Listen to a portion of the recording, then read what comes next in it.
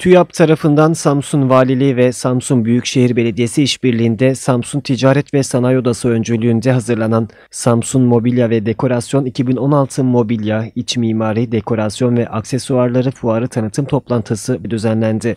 Samsun'da bundan tam bir buçuk yıl önce başlayan hikayemize bugün yeni ve çok stratejik bir konu başlığı daha eklemiş bulunuyoruz.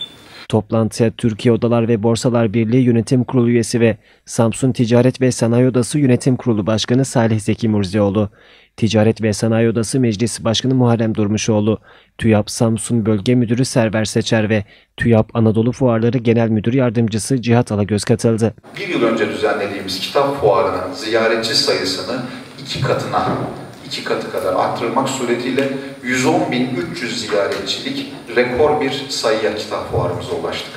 TÜYAP Anadolu Fuarları Genel Müdür Yardımcısı Cihat Alagöz, Türkiye'nin en eski mobilya üretim bölgelerinden biri olan Samsun'da 750'den fazla üretici firmanın fuarda en yeni ürünlerini sergileyeceğini ifade etti.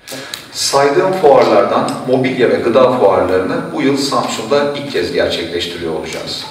Önümüzdeki yıllarda ise yeni projelerimiz ile Samsun'da hem fuar sayımızı, çeşitliliğini hem de fuarlarımızın niteliğini arttırma yolunda da kararlı adımlarla ilerlemeyi hedefliyoruz.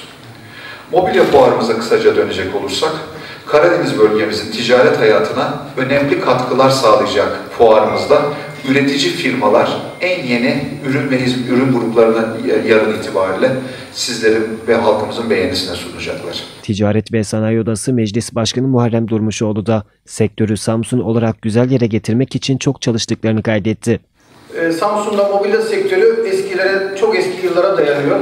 Ama ticaret şehri olduğumuzdan yani bizim imalat konusunda büyük fabrikalarımız oluşmadı. Yani yeterli sayıda olmadığı için e, küçük imalatçı kardeşlerimiz var, arkadaşlarımız ama biz bunları bir araya getirerek şimdi yani yeni bir markalar üretmesi için ortaklık kültüründe onları aşılamaya çalışıyoruz. Mobilya, Samsun Mobilya Dekorasyon Fuarı'nın şehrimize hayırlı olmasını diliyorum. Tabii biz Fuar ve Kongre Merkezi'ni yaparken şehrin ekonomisine katkı sağlamak amacıyla yaptık. Geçen sene ve bu sene yaptığımız fuarlarla da bu amacına ulaştığını her geçen gün elimize aldığımız sayılarla beraber onu görüyoruz.